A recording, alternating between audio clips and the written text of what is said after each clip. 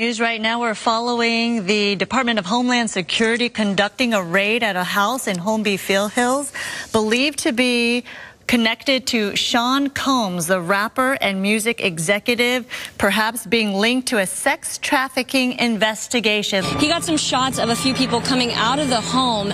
Those people have been detained. Now we're trying to still connect the dots. We do have some sources on scene here that we're getting this information from. We were actually the first ones here with about 30 different law enforcement vehicles at least. There are three Bearcats on scene here. This just all unfolded, Sandra, I would say less than 10 minutes ago. We got here even before the crime scene tape came up. So uh, we're just down the hill. If you look up this street where Tony is right now to the right, you'll see one of those Bearcats and law enforcement. And on the other side of those bushes, basically, is that home that is registered to Bad Boy Films, which is part of Bad Boy Entertainment. And the home in particular is registered not only to Bad Boy Films, but to one of P. Diddy's daughters. They are heavily armed and uh, they've been very tactful. Would now, probably these heavily armed vehicles and those very expensive luxury cars that are parked right on that driveway right there. So clearly a, a very different sight than we're used to seeing. But uh, there you see some of the people that were inside that mansion at the time of the raid. They are being talked to by investigators, by people from the Department of Homeland Security. I could see they're getting their pictures taken as well. So maybe they, they don't know uh, who, you know, they're looking for or, or who they have in front of them at this point. But again, part of the process of gathering information as to who in particular was on the grounds at the time that they made entry into during this raid. So uh, if we do have a vantage point from the ground there, I'm not sure. Yo, yo, yo, it's Big Ant, the spokesman, man. We back. Another edition of Urban Politicians TV. UPTV. Make sure you stay on your pivot at all times, man. Had to come tap in as we done heard some of the craziest news break today, and we got to watch it in real live time as Fox 11 was on the scene as not one, but two of Diddy homes was being raided. Now, they was at the one out in L.A., but it was happening out in Miami at the same time. Now, innocent until proven guilty, but Diddy was not there. And as more and more information came out, they have now saying that Diddy has left on a private jet, possibly, but that is not yet confirmed. But 50 Cent caught wind of it, and as expected, he most definitely used this opportunity to troll. Earlier, he came on and said, now it's not Diddy do it, it's Diddy's done. They don't come like that unless they got a case. He said, it's just got real. The feds and all the cribs. Man, they got all the kids in cuffs at Bronson Cognac at Leach and Midori. It did as the news broke that Diddy could possibly be out on a jet, maybe going to another island from what they reported. You know, the speculation gonna be, would it be? 50 Cent came and said, nigga ran off and left the kids in the whole ish. Yo, he doing the race. Said F it. 50 did put up this right here. Getting hit with a Freako in 2024 is crazy.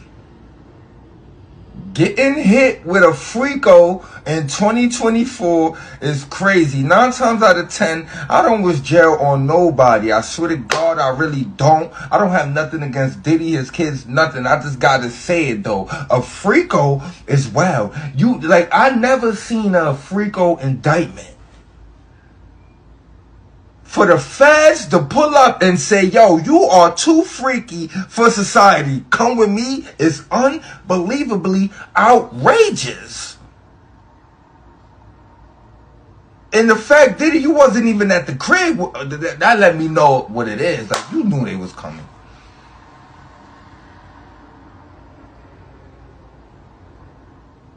being too freaky for society is wild. Like I know R. Kelly is like, see, see, and y'all. Now 50 Cent is gonna do what 50 Cent gonna do whenever some Diddy news comes out. People do want to hear what 50 Cent got to say. They've been having this online rivalry where really it's been one-sided. 50 Cent being 50 Cent, Curtis Jackson, you know how that nigga gonna get out with things like this. He is not gonna take his foot off the gas at all, no matter what a nigga is going through. He gonna keep the situation going. But I gotta say innocent until proven guilty when it comes to Diddy and what he being alleged of. He was not arrested today. He was not at the homes either. And they are saying from the reports on TMZ that his jet is out the country. TMZ has tracked Diddy's personal Love Air LLC jet, the well-known black Gulfstream 5 that Diddy has flaunted and flown for years now, and it looks like the aircraft is currently on the ground in Antigua, which is down in the Caribbean.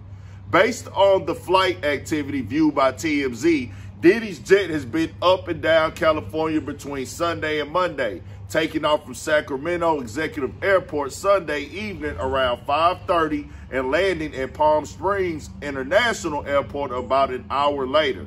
An hour after that, around 7.30 p.m., Diddy's jet took off from Palm Springs yet again and landed at the Van Nuys Airport, which is in the LA area, about 30 minutes later, around 8 p.m. Pacific. Around 9 a.m. Pacific Monday, the jet took off from Van Nuys Airport and landed at some point in Antigua. The plane is currently grounded there, although the flight data has yet to update and register him has officially landed. In any case, it's definitely Diddy's jet, no question.